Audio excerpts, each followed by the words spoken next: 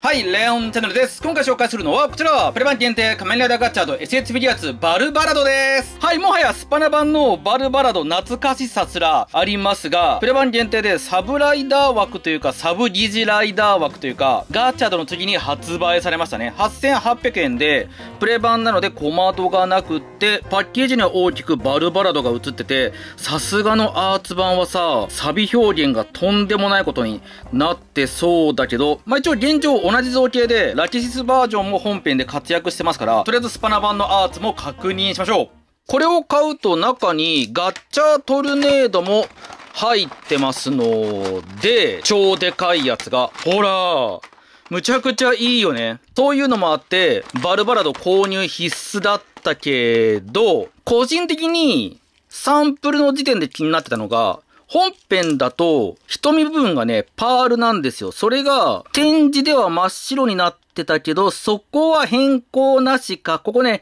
瞳がね、割と、キラッと光ってるんで、ここ変えて欲しかったけど、すごいな、この辺の、スパナ表現からの、サビ。あー、ウェザリングすごいわ。この辺も、あ、十分十分。でも多分個体差ある程度、あるだろうな。死母というか、モールド表現も、やばいわ。どう見ても悪役のような見た目で、ちゃんと味方側のキャラクターですからね。そっか、手首部分とか、パーツと一緒になってるのか。なので中身としては、バルバラド本体と手首パーツが6つ、ガッチャード用の手首が4つ入ってて、ガッチャートルネード交換用のパーツが付いてるのとバルバラッシャー。特にアーツサイズのライドキミートリカとかは付属しませんが、ちゃんと鉄鋼みたいな変形アクションは可能と素晴らしいね。でもカード欲しいよね、ここに装填するやつ。でも装填するようなベース台座すらそもそも存在してないんだよな。先にガッチャートルネードから見ちゃうけど、ガッチャードの射撃武器で弓型の、はい、ぐるっと見回すとこうで、ブラックの成形色にオレンジで塗装されつつ、ちゃんとこの部分が回転するようになってますね。引き金部分は弓状態と剣状態の2モードで遊ぶことができますので、持たせて、斬撃武器として持たせられますし、本編同様のデカめのスケール感いいね。まあ、こういうのだったりとか、あとはここパーツを付け替えて、ちゃんとパーツを持たせられますので、射撃状態なんかも再現可能と。ガッチャードの攻撃力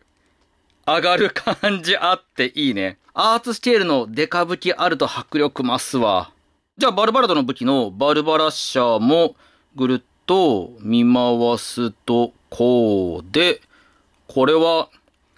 12分の1サイズのあらゆるフィギュアで鉄鋼遊びができる有能な玩具じゃない？ちゃんとね、ここね、変形ギミックも入っておりますし、この部分はレバー稼働しませんが、銃としても、要は使えると。ここに銃口ありますからね。さすがにネジ締めとかそういうアクションはありませんね。そして、バルバラド本体ぐるっと見回すと、こうで、サイズとしてはいつもの14.5センチサイズで、同じ作品のガチャードと比べると本編スケールそのまんますね。高さとかも全く一緒。ポータローはメッキ、スパナはサビっていう、キラキラとザラザラで対比になってるんですよね。でもほんと序盤はさ、スパナにひたすら嫉妬するポータローでしたが、最近スパナ、戦績悪いからね、そろそろパワーアップかはい、上半身、うん、近づいてみるとこうで、尖ってる設定のところはしっかり鋭利に尖ってますし、この辺のパーツとか、絶妙に硬柔らかいんだ。折れにくいようになってるけど、でも軟質っていうほど柔らかくもないんだよな。改めて見ると悪役顔だけど、この辺とかそっか角があったか。マッドウィール1枚で変身しますので、パープルからの汚し塗装マフラーデザインとか、少し乗り物っぽさもありつつこの辺のパイプとか、でも元々のネジとかスパナデザインなんかもしっかり目立ってますよね。ここまで、まあ、設定通りとはいえ、最初からここまでスーツに汚し塗装が入ってるアーツもライダー系では珍しい。カードホルダーはオープンしないタイプですが、その周りはメタリックでデザインされつつ、ローブが軟質で表現。うん。意外とこのままさ、ラケシスっぽいしなやかポーズ取らせれば、ラケシス状態にも見えなくもないよね。なのでこれ、少しラケシスバージョンのカラーが入れば、全然そのままアーツ出せる気がする。いけるんだね。ラケシスっぽいシルエット。でもやっぱさ、バルバラッシャー持ってこその変身状態なので、かっこええ武器持つと最高。ちなみに可動は首が根元から2箇所動き、上もここまで上げられますね。チューンナップのパーツ欲しいけどな。で、胸と腰で可動。腕はアーマーごと回転。二の腕ロール。肘、手首で。下半身もいつも通り動くんだけど、この辺のね、元々のスーツ造形があるので、それで少し前も後ろも制限されるっちゃされるけど、とはいえこう片腕上げて空中浮遊ポーズみたいな思い通りのポーズは問題なくいけるかな。武器持ち手首は両方分ついてますので、バルバラッシャーはどっち方向でも持たせられますし、まあ、本編の変身時のバルバラッシャーを前に突き出すスパナポーズ取れるし、ほら、かっこいいだろう。あ、ちなみに、膝は、ごめん、ここまでしっかり曲がるのと、足首の可動はいつも通り、つま先まで可動入ってますけど、足裏模様ないんだね。で、このポーズからの、まっすぐ構えつつ、手を添えて、これよ。これでゴーの変身ポーズも完璧。で、マッドウィールでかざしてアーマー、連星からの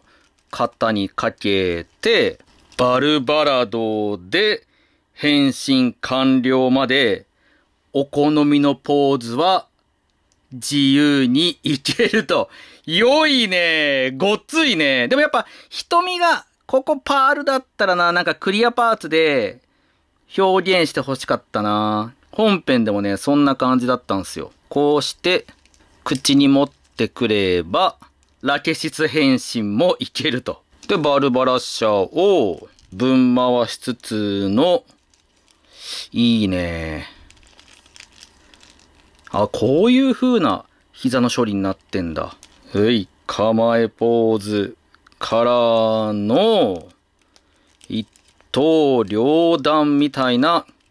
重めの、はい、斬撃ポーズ。こんなのとか、で、こっから、あ、でもほら、超かっこよくない？こう振り抜けみたいな。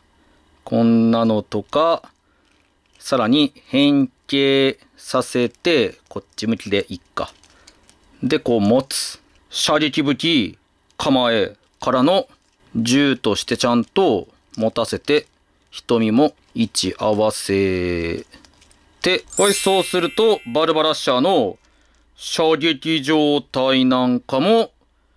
いけちゃうわけよ。全然また雰囲気変わるよね。まあ、それこそもっとこう、膝曲げて、足立てて、上部への射撃攻撃みたいな、こんなのもいけるし、持ち替えて、こっちで、あれヘリコプターって右だっけ？武器持ち手首は両方ついてますので、このような空中浮遊ポーズからのプロペラで攻撃みたいな、ある程度上側を向かせることもできるし、なんならアシストするシーンみたいなこともできるね。あと武器は、宝太郎から借りて二刀流みたいなことも問題なしと。このグリップすげえ外れやすいね。で、すごいのがさ、あれでしょ？これ、背中にマウントできるんだよね。バルバラッシャー。ここに角度調整できるパーツがあって、で、ここに出っ張りがあるから、ほら、差し込むことでここ塗装されてるのに、マウントすることができますので、こんな風な、まあ、適当にポーズ取っても、とりあえずかっこよく決まるのがすごいよな。これこのまま、あ、いけるわ。武器持てるから、ほら、マウント状態から武器取り出しポーズまでいけちゃう。で、取り出して、相手を挑発するような天才なんで、ガチの天才なんで、こんなような挑発ポーズなんかも、非常に似合うね。いいアーツだわ。背中に武器マウントできるの、マジで言うの。ライダーキック的なポーズも、実は全然問題なく、ちゃんと足が上がりますので、キックポーズなんかも超かっこよく決めることができます。着地とかはね、やっぱこの辺の軟質パーツのせいで少し下半身は取らせづらいところはあるけど、割とね、格闘アクションポーズなんかも問題ないのが、いじってて楽しいね。割とラケシス感を出せるのも素晴らしいと思います。ちゃんとちょっと肩幅とかさ考えてなよっとさせればいい感じにっぽいよね。せっかくなんで変身音も鳴らしとく？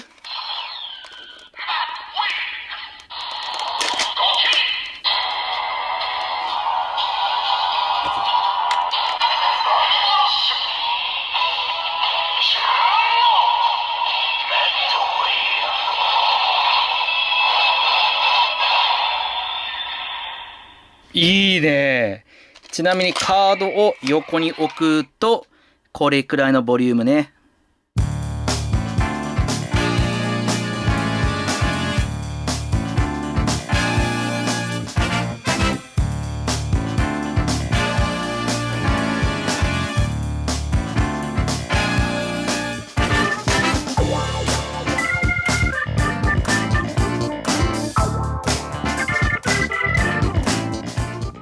プレバン限定仮面ライダーガチャと SS ピリアーズバルバラードの紹介でした。